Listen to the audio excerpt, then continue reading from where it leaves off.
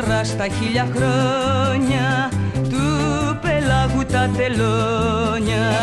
Μες στα σκοτεινά τα φύκια μες στα πράσινα χαλίκια.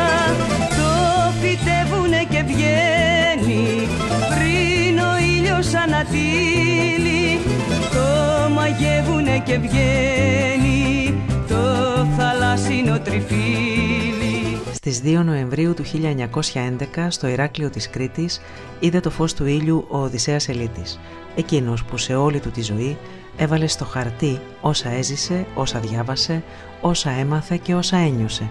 Και τα έκανε για μας ποίηματα, να τα έχουμε πάντα μαζί μας ρούχο ζεστό. Και αν θέλουμε να τα έχουμε και μπούσουλα.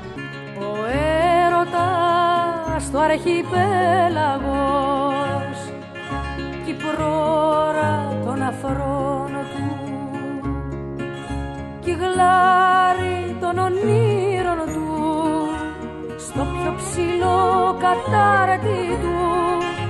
Ο ναύτης ανεμίζει ένα τραγούδι. Ο Οδυσσέας Ελίτης υπάρχει με τα ποίηματά του παντού, αρκεί κανείς να ψάξει. Και χάρη σε συνθέτες ταλαντούχους, ο Οδυσσέας Ελίτης υπάρχει και στα τραγούδια.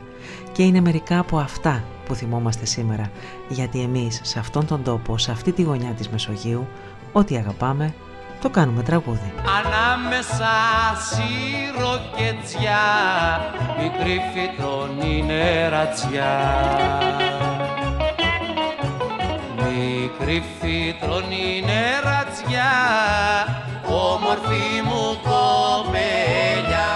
Για το δικό σου το χατήρι, ο κήπος έμπαινε στη θάλασσα.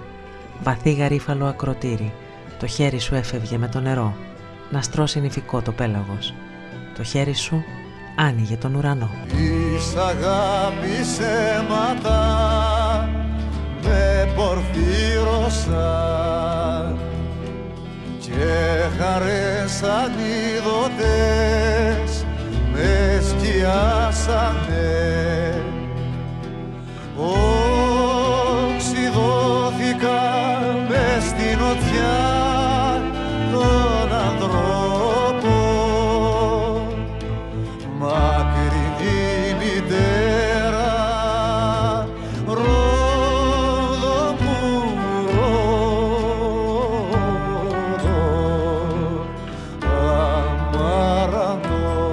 Γράφει ο Οδυσσέας Ελίτης στο αξιονεστή.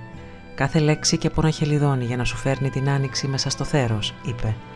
Και πολλά τα λιόδεντρα που να κρυσάρουν στα χέρια τους στο φως και αλαφρό να πλώνεται στον ύπνο σου. Και πολλά τα τζιτζίκια που να μην τα νιώθεις όπως δεν νιώθεις το σφιγμό στο χέρι σου. Κάτω στις Μαργαρίτας στα λονάκι Στη σαν χορό τρελό τα μελισσοπουλά Υδρώνει ο ήλιος τρέμει, τρέμει, τρέμει το νερό Στάχια ψηλά λυγίζουνε στο μέλλον ουρανό Αλλά λίγο το νερό για να το έχεις Θεό και να κατέχεις τι σημαίνει ο λόγος του. Και το δέντρο μονάχο του χωρίς κοπάδι για να το κάνεις φίλο σου και να γνωρίζεις τα ακριβό του το όνομα. Φτενός στα πόδια σου το χώμα για να μην έχεις που να απλώσεις ρίζα και να τραβάς του βάθους όλο ένα και πλατείσαι πάνω ο ουρανός για να διαβάζεις μόνος σου την απεραντοσύνη. Όσα άστρα γύρω βρίσκονται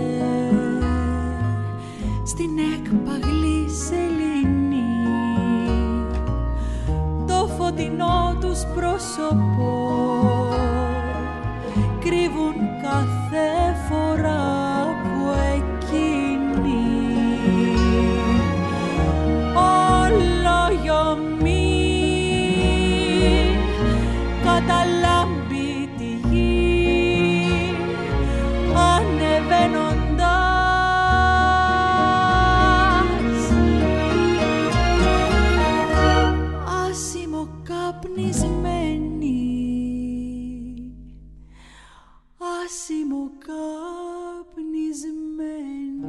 Γράφει ο Οδυσσέας Ελίτης στον μικρό ναυτίλο.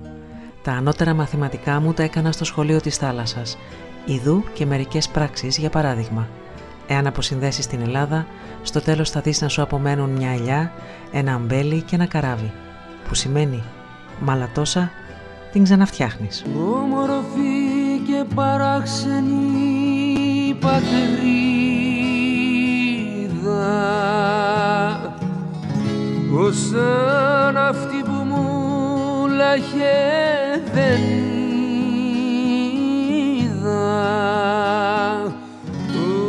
Ένα δειλινό στο Αιγαίο συνεχίζει ο Οδυσσέας Ελίτης στο μικρό ναυτίλο. Ένα δειλινό στο Αιγαίο περιλαμβάνει τη χαρά και τη λύπη σε τόσο ίσες δόσεις που δεν μένει στο τέλος παρά η αλήθεια. Ένας αναχωρητής για τους μισούς είναι αναγκαστικά για τους άλλους μισούς ένας ερχόμενος. Στους προσανατολισμούς μόλις την πρώτη του ποιητική συλλογή γράφει ο Οδυσσέας Ελίτης Έφερα τη ζωή μου ως εδώ στο σημάδι ετούτο που παλεύει πάντα κοντά στη θάλασσα, νιάτα στα βράχια επάνω, στήθος με στήθος προς τον άνεμο. Πού να πηγαίνει ένας άνθρωπος που δεν είναι άλλο από άνθρωπος. Εδώ στου δρόμου τα μισά Έφτασε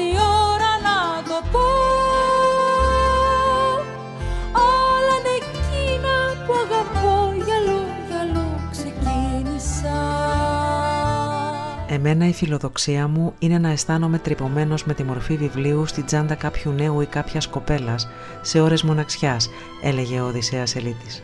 Και νομίζω πως τα κατάφερε. Αν τώρα βάλεις και τα τραγούδια, είναι στο στόμα όλων μας και ας μην το ξέρουμε. Το ξέρει εκείνος.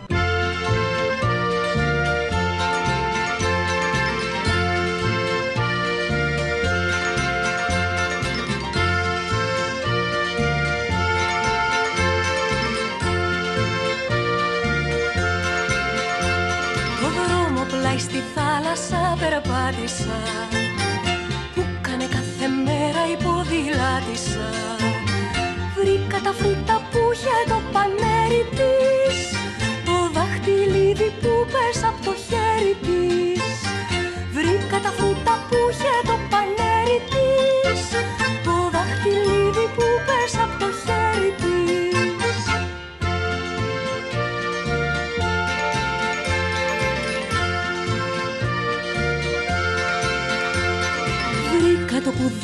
Κυριακή και το σάλι της.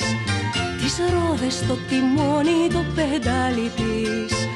Τη ζώνη της τη βρήκα σαν μια άκρη Μια πέτρα διαφανή που μοιάζει δάκρυ Τη ζώνη της τη βρήκα σαν μια άκρη Μια πέτρα διαφανή που μοιάζει δάκρυ